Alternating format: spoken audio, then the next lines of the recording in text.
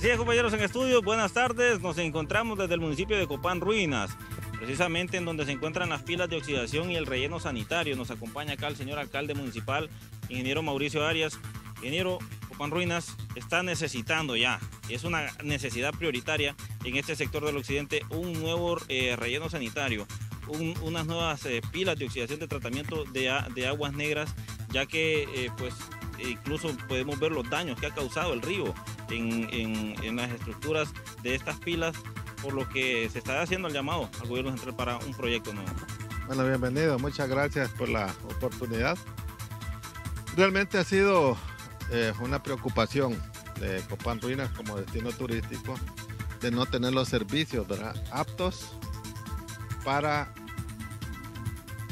que puedan dar servicio a los ciudadanos como los visitantes más, para Copán Ruinas al ser un destino turístico somos eh, visitados por, por muchas personas de diferentes países del mundo y la imagen como país pues es lamentable. Eh, la debilidad nuestra son los pocos recursos o presupuestos municipales que no nos permiten pues, dar respuesta a esto.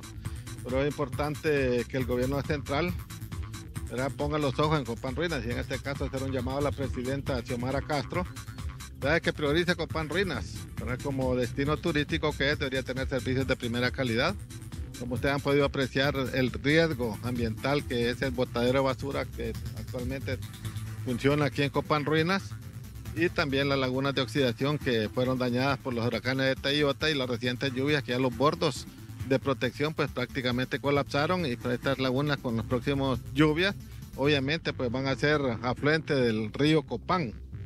Lamentable por lo cual es propicio, verá que apoyen a nuestro municipio. Actualmente estamos solicitando la licencia ambiental en mi ambiente para hacer el estudio del relleno sanitario. Estamos adquiriendo un predio de 8 manzanas precisamente para que funcione este relleno sanitario y permita el manejo adecuado de los desechos sólidos.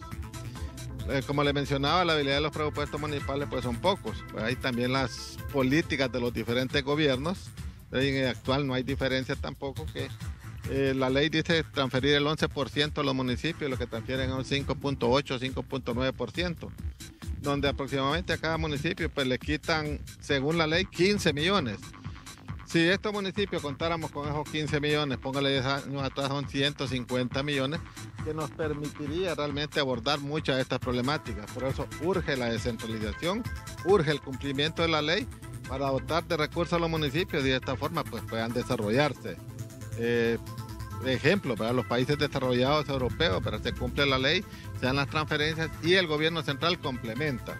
Pero creo que es importante un diseño o un cambio en las políticas como se han manejado y permita pues, que nuestro país pueda avanzar. Así que les agradezco a ustedes ¿verdad? y ojalá ¿verdad? que esto llegue a oídos de la presidenta Xiomara Castro y mire, ponga sus ojos en Copán Ruinas para tener un apoyo, ¿verdad? Y potenciar Copán Ruinas con todos sus servicios, ¿verdad? Siendo una imagen para el país. Muchas gracias, ingeniero Mauricio Arias, alcalde municipal de Copán Ruinas. Y como pueden ver en las imágenes, pues son condiciones precarias las que ya presenta el actual relleno sanitario y también el complejo de las pilas de oxidación. O sea, el río está aquí a, a, milímetros de una de las piletas. Esto significa que con una inundación, con un desbordamiento del río, pues eh, podría abrir más la brecha ahí y toda esta contaminación que haría en el río Copán, afectando a las comunidades río abajo. Compañeros en estudios, las imágenes son de Ariel Martínez y desde acá vamos a regresar con ustedes allá.